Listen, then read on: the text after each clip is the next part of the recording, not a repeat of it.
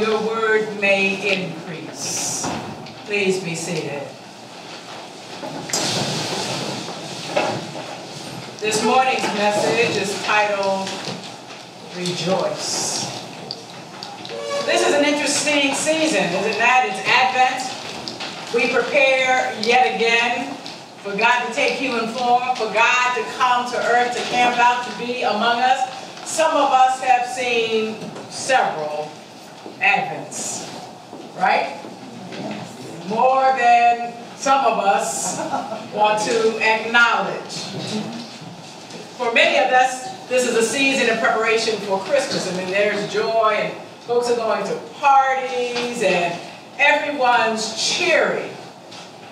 But for all too many, this season is one of sadness. It is one of depression. It can be a season of darkness.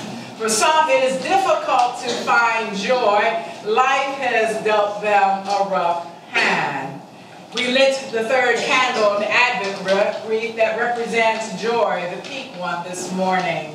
It is Gaudete Sunday. Joy to the world, joy to the world. Rejoice, rejoice. And yet in the gospel, John the Baptist is in prison.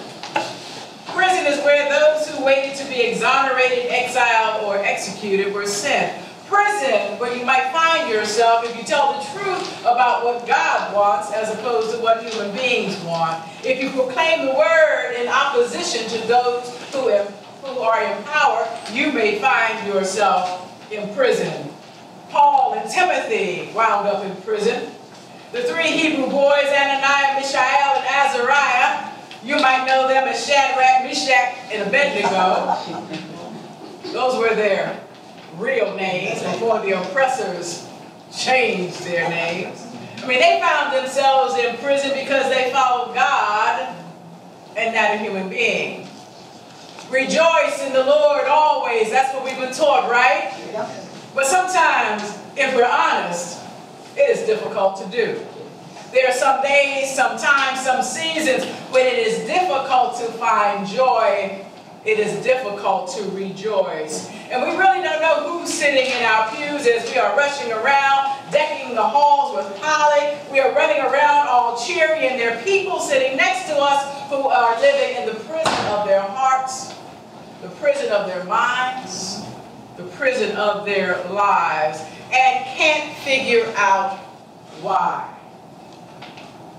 John can't figure out what is going on. Please come in. Okay. Okay.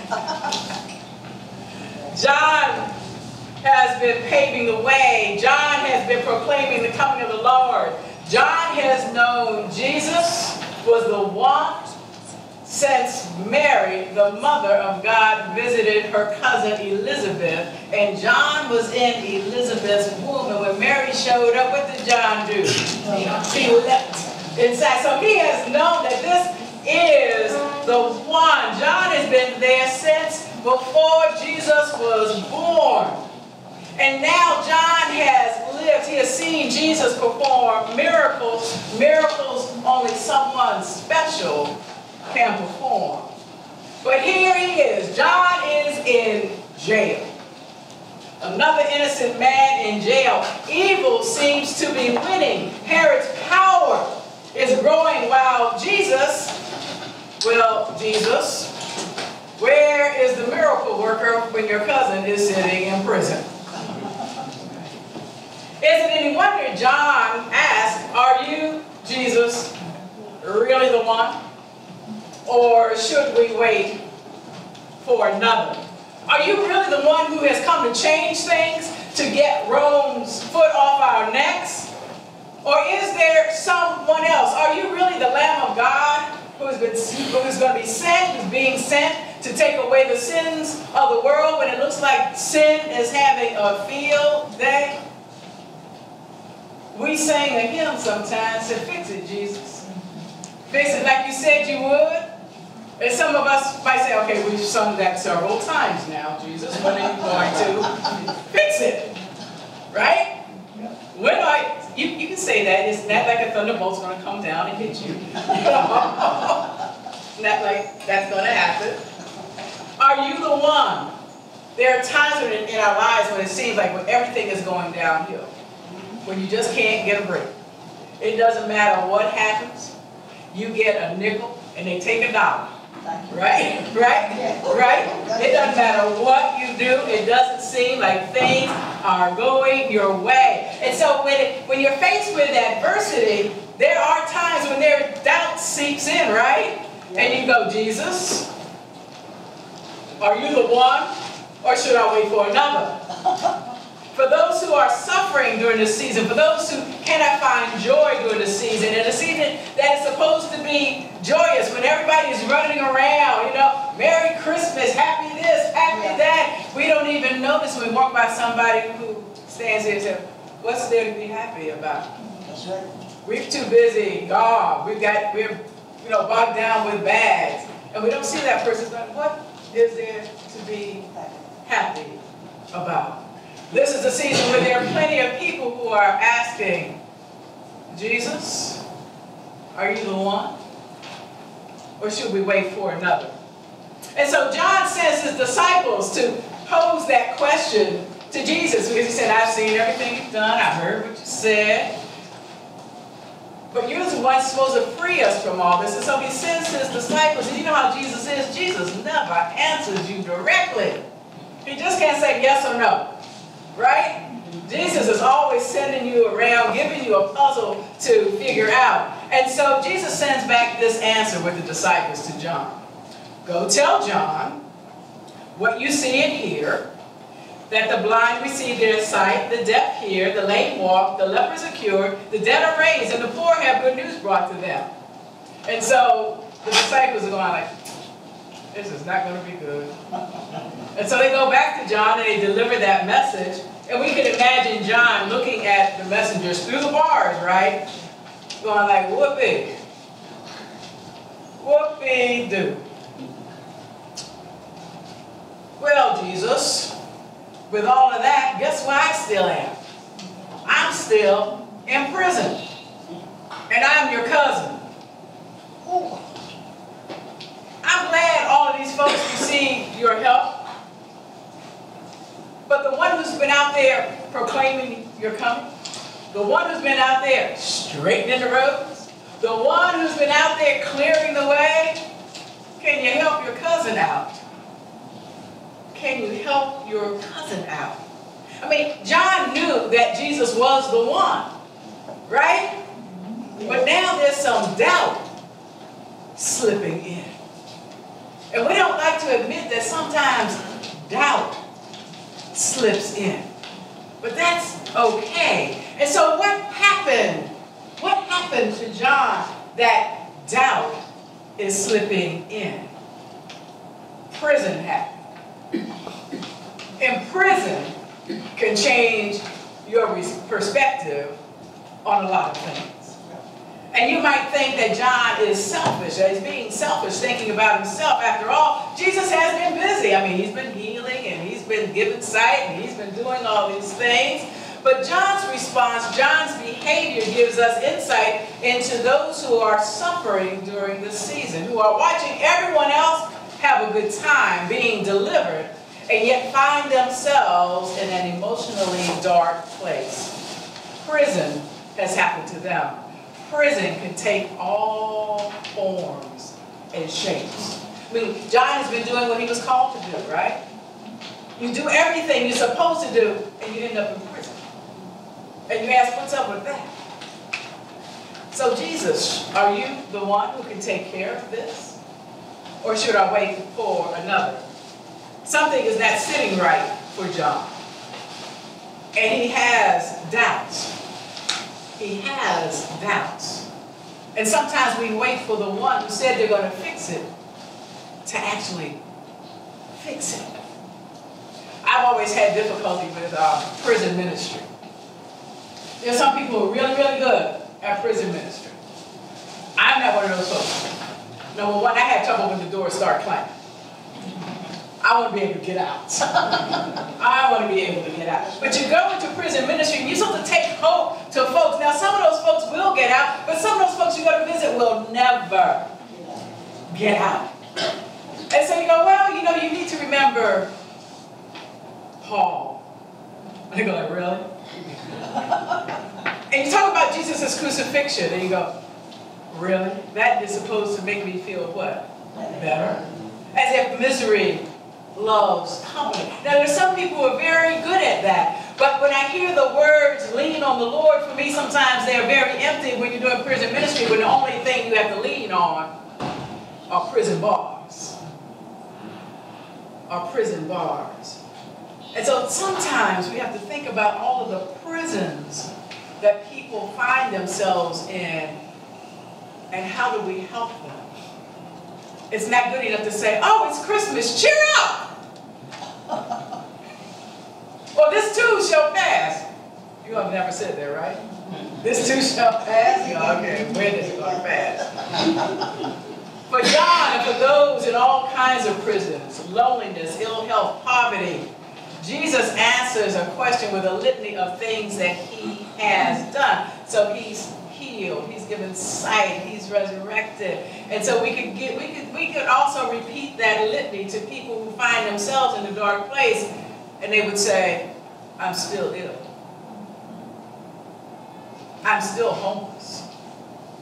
Ain't nobody ever raised my husband, my wife, my children. And then we have to kind of backstep. We have to kind of backstep.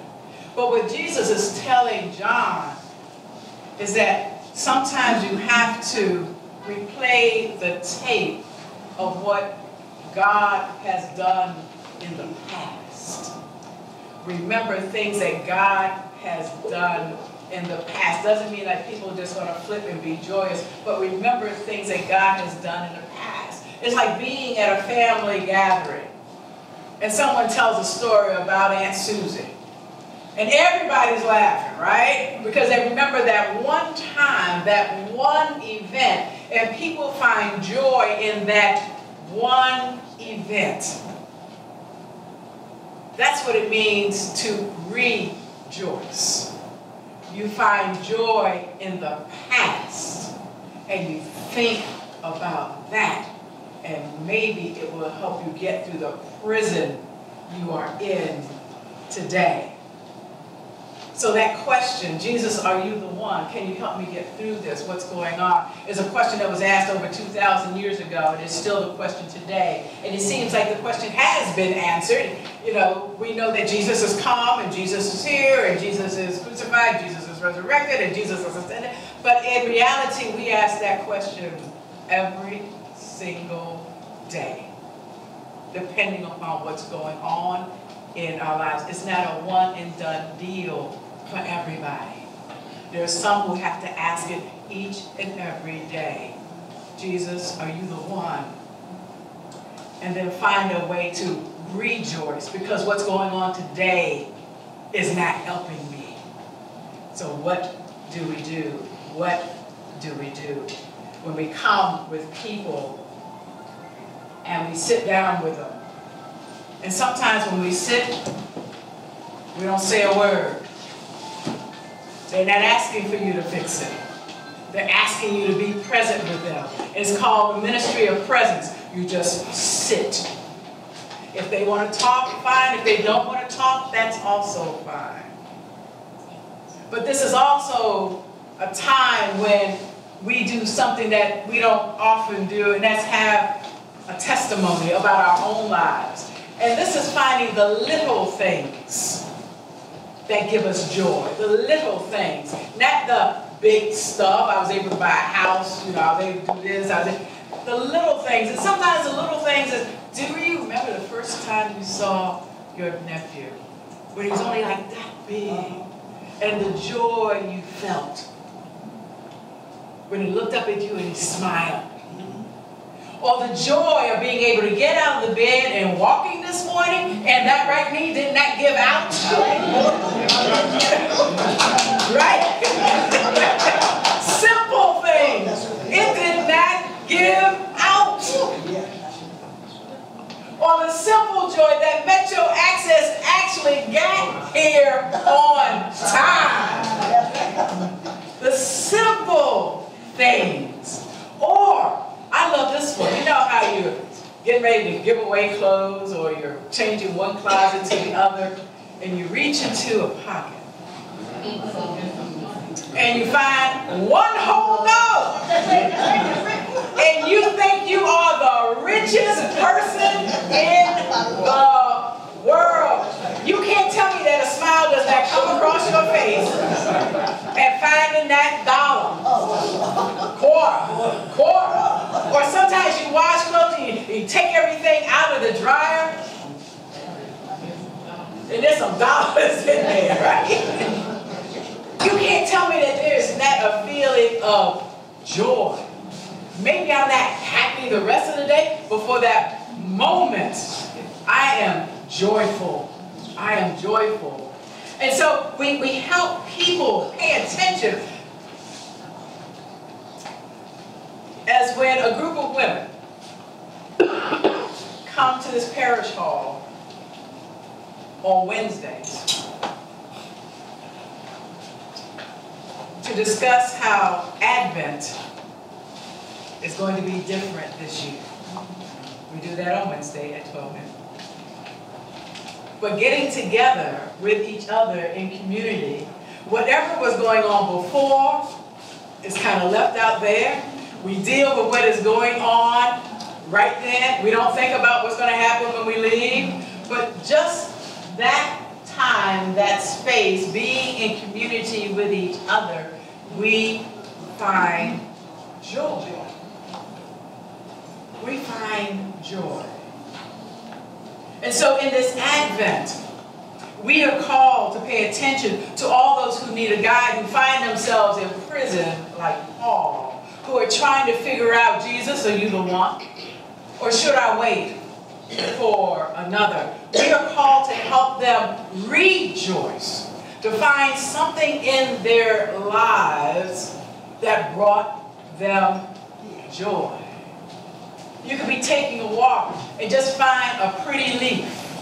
Have you ever done that? You've seen a beautiful leaf and you pick it up and you're marveling over this simple leaf. But helping them find joy in the simple things. Helping them find joy in the past and bringing them up to the present. We are called in this Advent to be with those who are asking every day, are you the one? Or should I wait for another? And so on this morning, on this day, let us, let us take time in this place, in this worship space, to rejoice. Amen. Amen.